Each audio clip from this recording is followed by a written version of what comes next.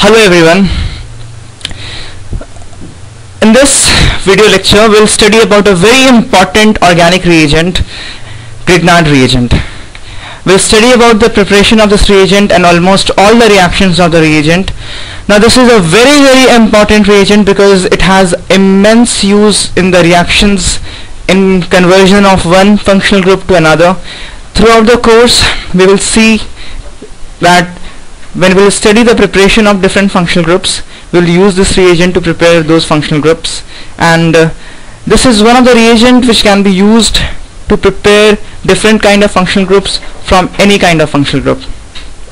So it's worth studying before we start formally start the reactions and the preparations of different functional groups.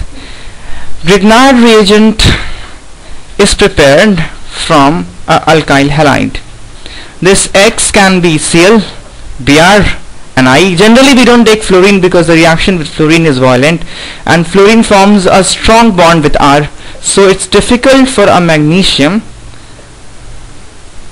to insert between R and X as it does to prepare Grignard reagent.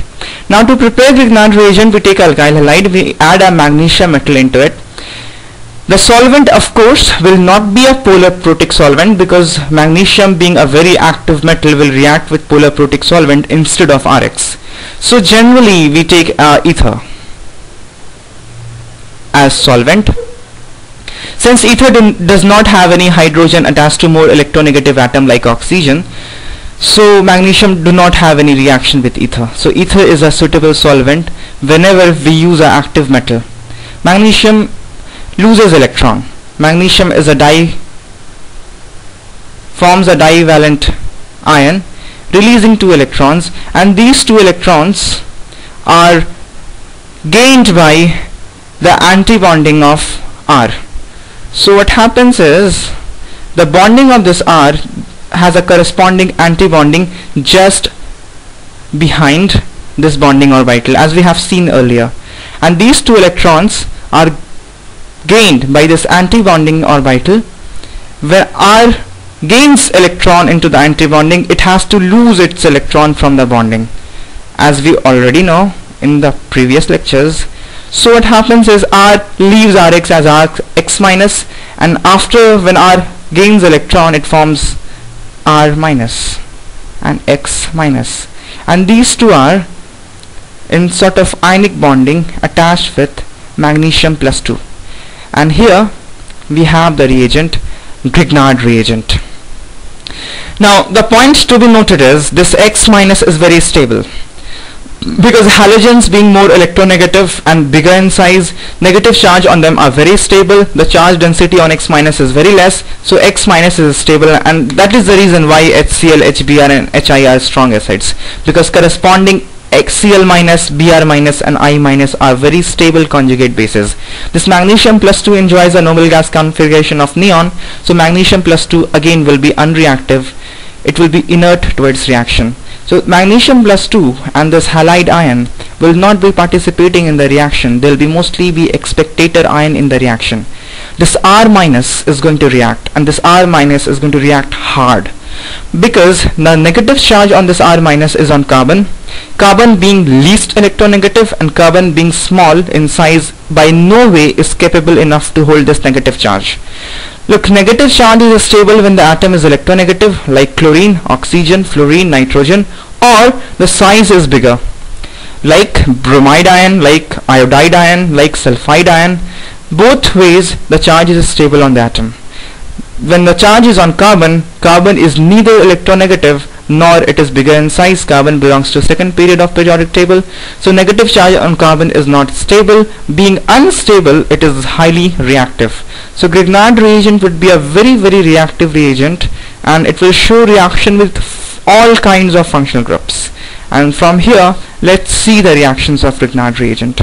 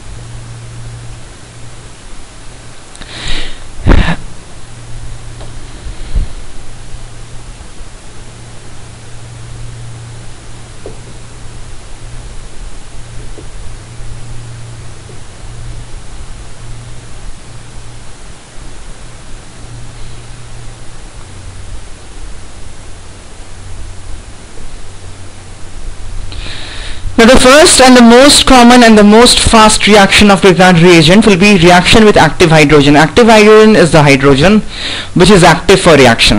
Now that means that it will react very fast. Now anything reacts very fast when the formed product is stable. Now hydrogen will react very fast when after hydrogen is removed the formed conjugate base is stable. Now let's let's take an example of alcohol. In, the, in alcohol, hydrogen is attached with attached with oxygen. When someone abstracts hydrogen as H plus, the negative charge will come on oxygen. Negative charge on oxygen is fairly stable because oxygen is the second most electronegative element in the periodic table.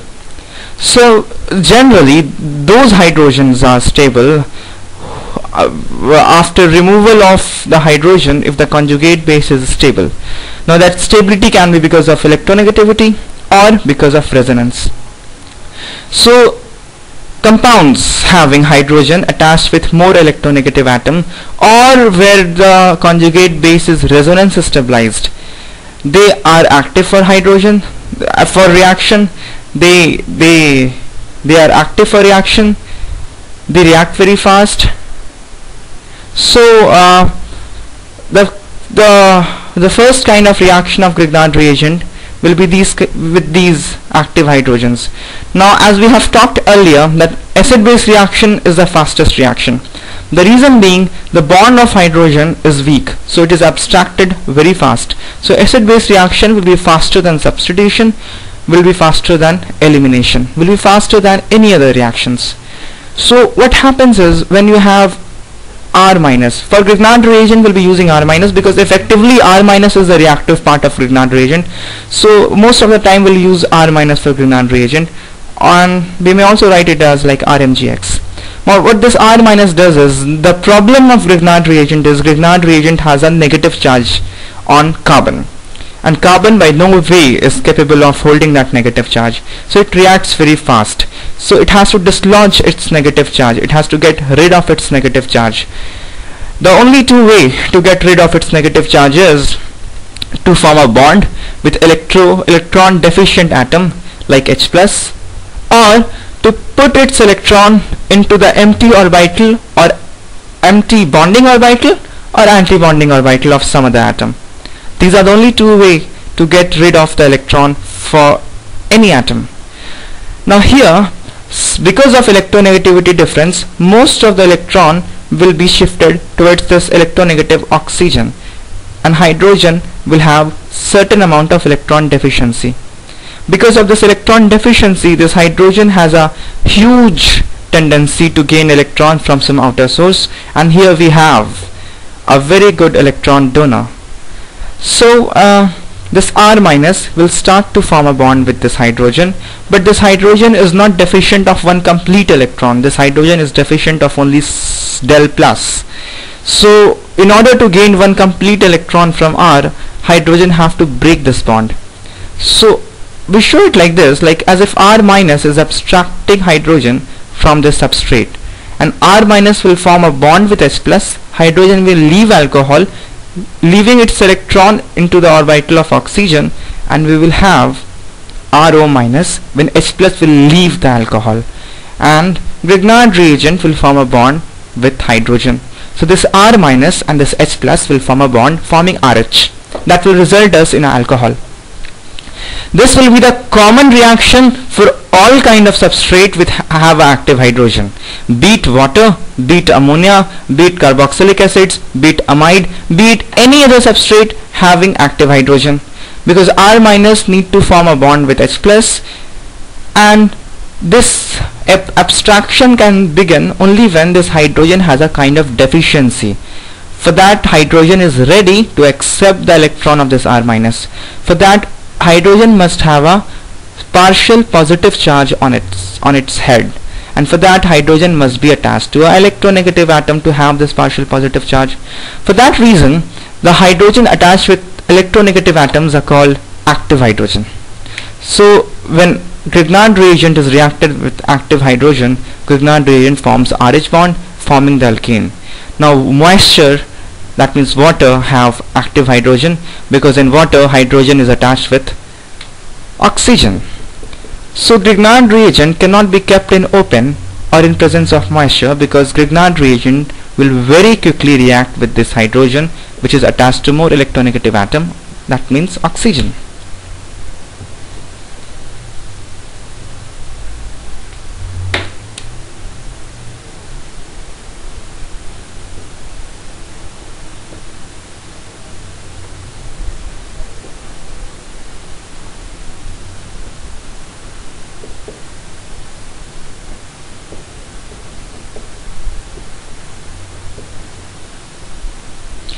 Now Grignard reagent will react with all these kinds of molecules whether water, ammonia, carboxylic acid, amine or any kind of acid will always result in RH bond will always result in formation of an alkene. Now from here after we'll see many kind of reactions of Grignard reagent. Sometime it will have a nucleophilic attack, sometime it will have elimination, sometime it will have substitution now, whenever we will be given a substrate and this Grignard reagent, we'll have to ponder over what kind of reaction will go on. Now, here on we'll learn this and bear this in mind as long uh, as long you study organic chemistry acid-base reaction will be the fastest reaction. Whenever you have an option between substitution, elimination and acid-base reaction, the first thing that you will do is acid-base reaction because acid-base reaction is a fast reaction. Because in acid-base reaction you have to break a bond of hydrogen and the bond of hydrogen is a weak bond because hydrogen in its nucleus has only one proton and that one proton offers very little attraction to the bonded pair so the bond is weak. So it is easy to break so the reaction is fast. In fact, acid-base reaction is very fast. So if you have an option in a substrate where you can do nucleophilic attack and acid-base reaction both, in that case, Grignard reagent, the first molecule of Grignard reagent will show acid-base reaction. After that, if you have more over left, then you may have nucleophilic substitution or any other reaction. So bearing this in mind that acid-base reaction is fast reaction, so whenever you initiate a reaction, always you have to think if there is a possibility of acid-base reaction always you'll have a acid-base reaction prior to any other reactions